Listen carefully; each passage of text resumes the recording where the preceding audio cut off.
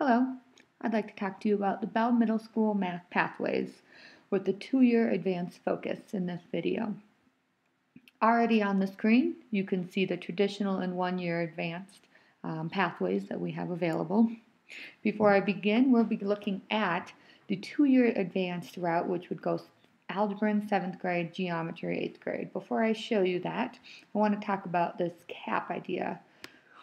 Idea of CAP is that this is this tool that the um, state has provided us to keep up with the Common Core state standards.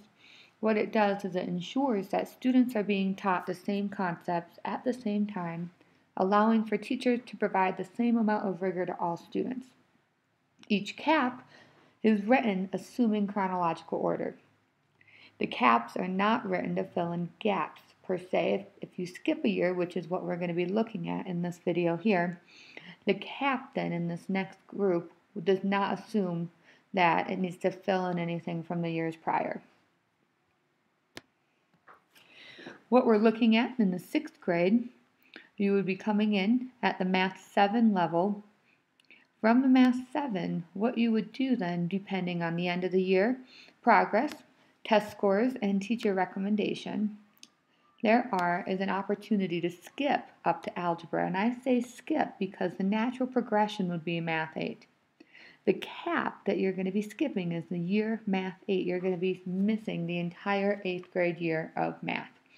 Um, in algebra class, then algebra cap will assume that you will have learned everything from Math 8. The two years advanced route is not a route that we um, promote as it does end up with um, gaps at times and so students are having to work extra hard in order to keep up with it. After a successful completion in algebra, the next option then would be going to geometry as an eighth grader. With this option or this pathway, one thing I want to point out to keep in mind with it, it's almost like a big caution, is that this page called state testing. Um, PARCC is what the district is going to be using starting in 2014-2015 school year.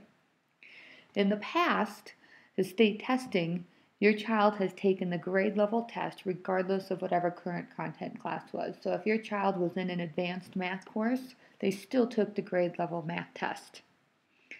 This year and beyond, what's going to happen is they're going to be offering that they are going to be taking the current content class. So if your child, for example, is enrolled in a Math 7 in 6th grade, you will be taking the Math 7 PARCC assessment. Not the Math 6 as in years past, you will be taking the Math 7 PARCC assessment. Here's where it gets a little bit tricky, is that this asterisk but you're not allowed to take algebra until 8th grade. That's the Algebra PARCC test. Let's look at this. What that means is if it's not allowed in 8th grade, this is when the algebra test becomes available for um, students on the one-year track. Um, because the one-year track is not um, an uncommon track to take, algebra is being offered at the 8th grade level. Now, the tricky part is that Geometry is also available. However, your child in seventh grade is not able to take the algebra test.